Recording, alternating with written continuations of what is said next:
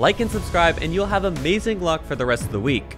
No parent should ever have to bury a child. Such a circumstance is perhaps one of life's most cruel situations. When it comes to animals, do they understand and grieve it like humans? It's been a hotbed of debate and an area of interest to researchers all over the world. So today, here are 10 ways in which animals say goodbye to the ones they lost. I've noticed that most of you watching this aren't subscribed yet, so if you do like the video, please consider hitting that subscribe button. It's absolutely free, and you can always change your mind later. And with that said, enjoy the video. Number 10. Gorillas. Baby Claudio the gorilla was Gana's three-month-old baby whom she loved and adored. One day, baby Claudio passed on due to unclear circumstances. Her mother Gana was heartbroken. After this, she spent the next few days carrying the body around and defended it against zookeepers at Munster Zoo in Germany. Apparently, this isn't unusual, as some ape moms won't even let go of their babies' bodies for weeks. If that isn't love, then I don't know what is. Other activities that scientists have observed include comrades gathering around the body, grooming, touching, and interacting with them. Some males also engage in antagonistic behaviors, including chest beating, vocalizing, and hitting or kicking the body. I guess everyone has their own way of handling grief,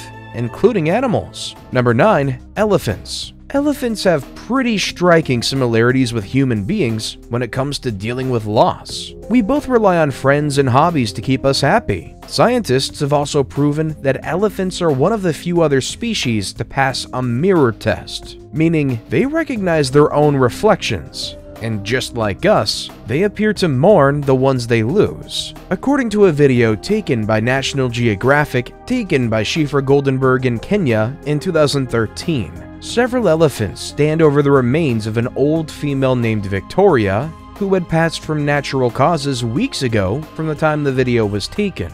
The elephant is also surrounded by other elephants that aren't related to her. The calves are sniffing at her, while others wonder why she isn't waking up. This clearly shows that animals mourn their losses, although we may never understand exactly how they do this. Elephants are also known to visit the bones of other buried elephants and touch their skeletons with their trunks. Do you guys think they feel grief like we do? Number 8. Burials in the ocean. For years, there's been anecdotal evidence that whales and dolphins experience grief similar to humans. In 2010 at Washington State, people observed a whale pushing around and nuzzling her calf for six hours, unwilling to abandon the body. Whales have also been heard crying mournfully when one of their companions is beached. Captive dolphins have been observed lying on the bottom of a pool, seemingly racked with depression after the passing on of a companion. Researchers like Tanya Luz in her report show that the majority of the mourning were females, with 75% mourning their calves, while post-mortem attention from males was very rare. Dolphins lack muscles to control their facial expressions, but their eyes are often filled with emotions, according to photos captured by researchers. If you think crying in the water isn't possible, then think again. Other sea mammals have also carried around their offspring for a while. This isn't an easy task underwater. Some researchers also observed dolphin moms trying to balance their baby's body on their beaks and diving after it when it sinks to the ground. When adult dolphins pass on, their companions guard the bodies for days as well. Number 7. Do giraffes mourn? The tallest mammals on Earth, whose legs alone are taller than many human beings, have an unusual morning routine. And we're not talking about waking up. A researcher in 2010 investigating whether giraffes mourn in the camp was shocked to learn how giraffes deal with grief. When a giraffe passed on, hyenas came and began feeding on the carcass. The next day, vultures arrived and so on and so forth. During her study, after about four days, the giraffes approached the scene where they had not been seen before. They stood nearby and just watched the body as the vultures continued squabbling over the desiccated remains. The giraffes just looked on and didn't bother chasing them off. They maintained distance and weren't closer than 10 meters from the carcass. Maybe the giraffes understand the saying that let the deceased bury themselves. What do you guys think? Number 6. Horses Horses normally face permanent separations, mostly due to human manipulation. They're sold, moved, and often weaned early and abruptly rather than naturally weaned from their mother. What we don't think about is that the horses already have bonds, and this separation normally affects them. In a video that was shot in Arizona where horses mourn their own, an expectant horse passed on during childbirth, where the baby got stuck for longer than usual, leading the mother into a septic shock. Efforts to rescue the horses were futile. What followed was a touching sight, where the other horses show a strange behavior of social attachment. One joined and touched her body and cried out loud, attracting another group of horses, who seemed to know where the body was. They took turns, one at a time, to pay their last respects. They were respectful, quiet, and seemed to understand what had happened. It's not just members of the same family that mourn, but others showing up clearly show that horses have bonds, and even strong friendships just like humans. Would you guys agree with that? Number 5. Grooming and consolation for the baboons. It's not an easy thing to say goodbye to our loved ones. Even in the animal kingdom, it's still heartbreaking. A new study reveals that baboon mothers have a hard time saying goodbye when they lose their young ones. Baboons' mothers often carry around their offspring for up to 10 days before finally letting them go. The study focused mainly on wild Chacma baboons living in the southern African country of Namibia. One mother seen holding their infants for 3 to 4 days, while others averaged up to 10 days. The interesting thing is that the mothers continue to groom their babies as they would have if they were alive during the mourning period. Some may argue that perhaps the animals just unaware that their young ones are gone.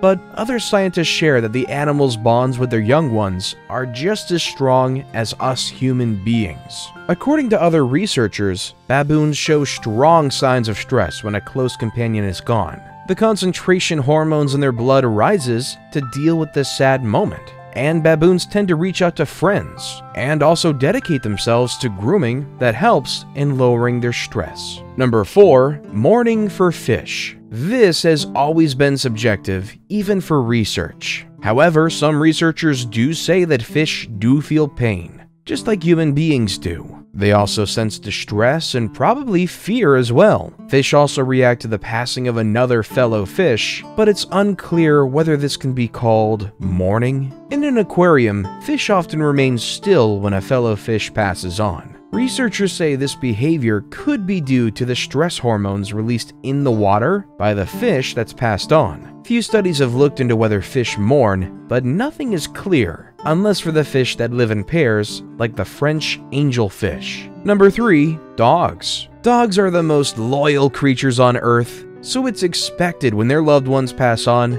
they will mourn. Dogs not only mourn the passing on of their kind, but also human beings. One time, a dog named Bernie was recorded at the gravesite of his owner three weeks after she had been buried. It was clear to see that the dog was really sad as he lied there, howling over the grave. I just hope they got a really big hug right after. Number 2. Cat Mourning of all the creatures in the world, you'd least expect a cat to mourn, if they'd even care at all when their owner passes on. I don't know about you guys, but cats just have this persona of being really mean and not showing much of any emotion at all. But surprisingly, they change when it comes to mourning. They get sad, they have a decrease in appetite, and they don't play. Cats may also sleep more than usual and move slowly as they sulk around. And sometimes they really show that they're sad. Like in this case, with their owner gone, the cat couldn't stay away from the graveyard. The cat was recorded trying to dig out her friend, and despite people's efforts to pick her up, she kept on trying. It was really sad to watch. They must have a bond like no other.